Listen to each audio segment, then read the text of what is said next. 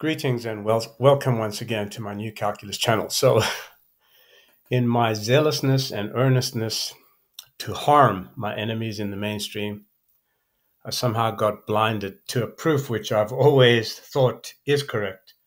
And somehow went off track because I was thinking of a geometric proof, uh, which I won't reveal the details of that because I'm still working on it but this proof is is correct.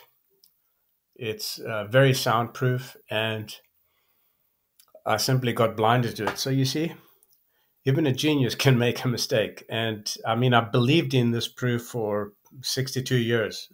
Just disbelieved in it for one second last night. Uh, maybe I am, maybe I am losing it, maybe not. But what this tells you about me is that I never closed the door to uh, establish knowledge. I have an open mind.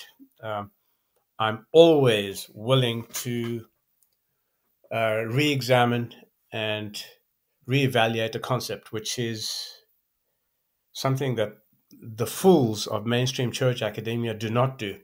And they cannot ever admit they're wrong, even when they're wrong most of the time. And they cannot admit it. They're hateful, spiteful, horrible human beings. And uh, I wouldn't even call them humans. Some of them are reptiles. So anyway, I've corrected. Uh, I've corrected uh, my mistake here on this Discord.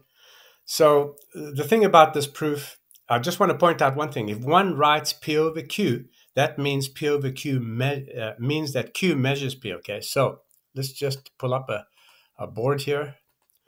When one writes as I showed you earlier, when one writes A over B, it means the measure of the ratio AB, meaning that the theorem of Pythagoras holds and there is a number such such that A over B uh, squared will equal to k squared, where k is k is this this part here. Okay, so that is true.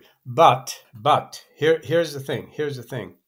Um, it's just that we can't find a ratio such that Q measures P and P and Q is irreducible. Okay, so I've always that's always been pretty plain to me. So and, and the assumptions made in this proof are correct. It says either A is going to be uh, even or odd, or both of them are going to be odd. So what happens first is that A turns out to be even, and then we show through contradiction that B is even too, which uh, which shows that uh, we have two odd, two even numbers, and we cannot find an irreducible fraction.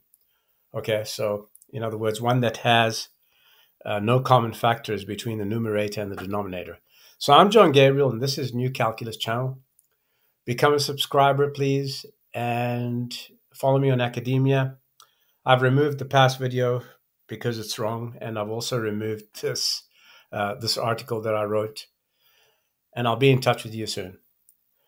Take care.